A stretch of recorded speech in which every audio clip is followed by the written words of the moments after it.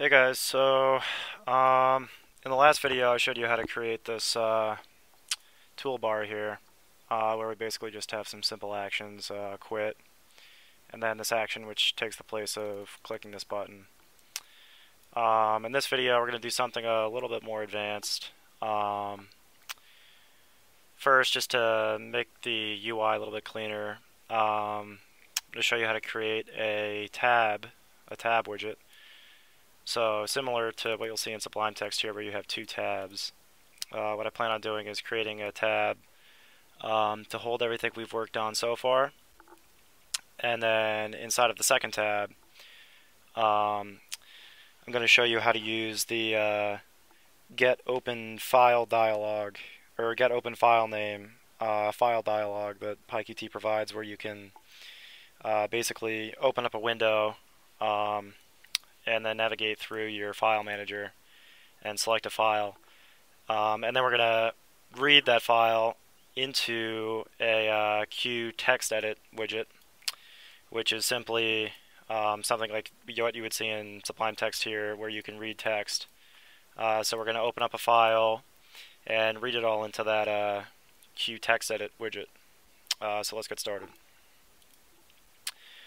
Um, so I'll collapse some of these here just to make it easier to read. Um, let's see. Uh, so before we even create the uh, the tab widget itself, uh, we're going to want to create a layout to hold the uh, tab widget. Um, so that's going to be same idea as this uh, QVBox layout here. Uh, we can create a new variable called tab layout. Call it. Um, and QVBox layout itself. And then so this one uh, now is actually going to be the parent for all of the other items, or it's going to be at the root of the tree of parents for all the other items. So we can actually remove um, the self here. But well, first of all, um, let's see. So. Uh, We'll just go ahead and create the uh, tabs widget um, first. And so that's going to be a QTabWidget. And no parent for that because that's going to be, um, parent for that is simply going to be the, uh, the tab layout. And uh, in my prior videos I didn't explain it, but when you add a widget to a layout, by default that will set the parent of the widget to be that layout. So you can't have any widgets being pushed into layouts that already have parents. Um, it'll just give you an error when you're when you're trying to uh, run the code. Um, so we have the tab widget, uh, and let's add the tab widget to the tab layout. So add widget by tabs. Um, and what we have to do here is because we're getting rid of the um, the availability of this uh, the parent to be uh, held inside of um, the main layout uh, we're going to have to oh, looks like this is frozen. Let's see. Give it a second. Um, I'm gonna pause this and then come back when this is not frozen yeah, yeah, sorry about that. So, got this thing working again. It actually crashed, which is uh, surprising. I don't think we've ever had that happen with Sublime Text. Um, so, what we're doing, we have to add the uh, tab layout.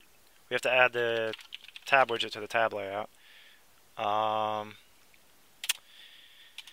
and now we have main layout, QVBox layout. So we have to we actually have to create a new widget, a new Q widget, which is going to act as the parent for the uh, the main layout. And the reason we have to do that is because if you want to add um, items to a tab widget, the only thing you can actually add to a tab widget is a widget itself. So we're not going to be able to just push our main layout into the uh, into the tab widget as a single tab. We have to create a widget to act as the parent of the main layout um, which we can then push into the tab widget. So uh, for the first tab here, we'll just call it basic stuff. Basic stuff parent. And this is just going to be Q widget initialized with really nothing. Um, and then we can use that as the parent for the main layout. Um, and then what that allows us to do is, like I was saying, we can do my tabs dot add tab um, basic stuff parent, and then this should include everything that's inside of this main layout because the main layout's parent is actually the basic stuff parent. Um, then we have to provide a name for this tab, so we can call it basic stuff. And we can run this here and just see if this works. and it should basically just be a single tab with everything we used to have, yeah. Okay, and then so we can see um, we're going to actually need to add some spacing above our uh, where we insert the um, the tab widget. And if you recall, uh, it's fairly easy to do that. All we have to do is tab layout dot add spacing uh, do 25 pixels. I'll try this again. Okay, yeah, so now um, everything's set up perfectly. We have our uh, everything we worked on in the prior three videos in this first tab, just labeled basic stuff. Can push this, this still works. This is an action, works, but we already clicked it so you can't see it. And then we'll quit out of that. I'll just open that back up so we can look at it. Um, now what we want to do is add in um, our second tab with our more advanced stuff, which I explained earlier is going to be um, a button to allow us to open up a file and then all the contents of that file are going to be dropped into a, uh, a QTextEdit widget, which is similar to what you'll see here in Sublime Text, just allows you to view the text. Um, so we'll go down below all this other stuff. Um, can even put it all the way at the bottom here inside of uh, init UI. Um, and same as what we did for the basic stuff, we're going to have to create a widget uh, to act as the parent for the stuff we're going to create now. So we can call it harder stuff parent. Um, just going to be, uh, what is it, just a Q widget. Um, harder stuff layout. And then we'll just do another VBox layout because we're only going to have a button and a, uh, a text editor below that. And then the parent for that actually has to be harder stuff parent. And then before we even add the stuff in, we can add this, uh, what we have so far to our tab widget. Uh, passing the parent widget as the parameter, and then we'll do advanced, if I can spell that correctly. And we'll run this, and we should have two tabs now. Yep, so we got our basic stuff and then advanced. And so what we're going to want to do is add uh, just a Q push button here and then our text editor below that where we're going to be able to show the uh, contents of a, of a file. Okay, let me just make a delimiter here to make this easier to see. So this is all the stuff here for the second tab.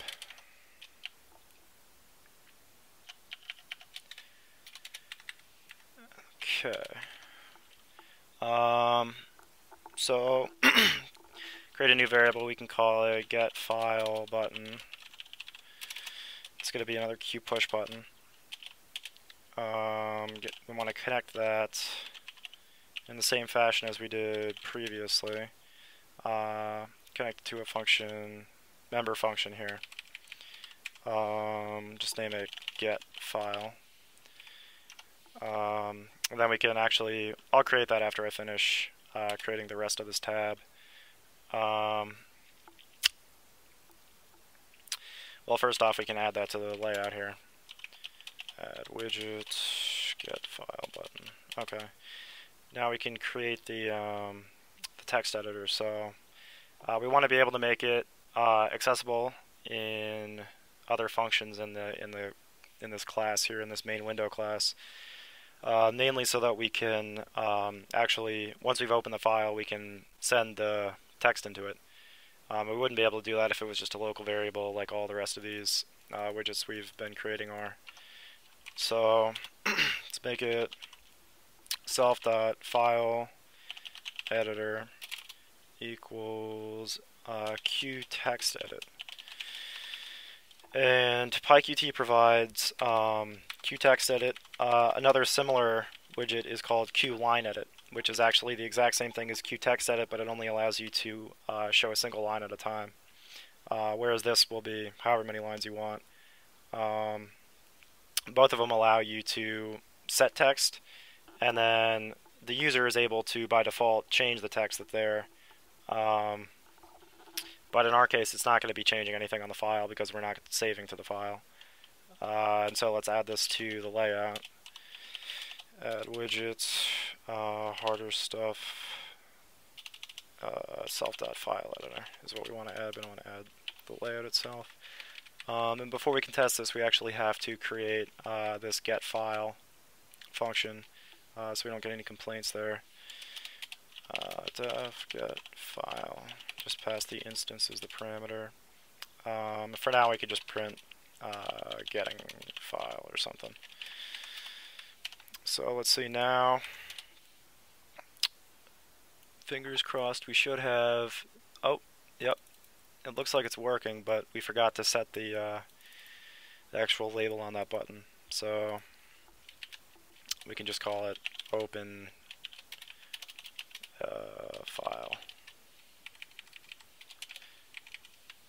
Test that out. Okay. Yep. And you can see it's printing out the terminal, so we know it's calling the, uh, the get file function here. So let's get rid of that. And um, this is how we're going to use. So, well, first off, the uh, to open up a file, we're going to use QFileDialog dot get open file name and we pass the instance as the parameter to that. And what this is going to do is return uh, the file name that the user has selected. So we can just create a local variable called file name and set it equal to that, the return value from that function, and then for now we'll just print that file name. And we'll try this out. Open a file. There we go. See, so uh, by default, I guess it's opening in this uh, the same location as where the source code is located. So we'll just double click the source code, um, and you can see here uh, we've got the full path to the file name. So we'll continue on ahead and uh, open that file up. So we can say text is equal to open fname and read dot read. Um, and then all we have to do to set the file or the contents of the file or drop those into the uh, text editor is self dot file editor, which is what we named our QTextEdit widget. Self dot file editor dot set text. So similar to the uh, the Q label function. Set text equal to text. And let's see, so this should, I'll just test it out again with the, uh, the source code for our actual thing so we can get like some inception action. Okay, cool.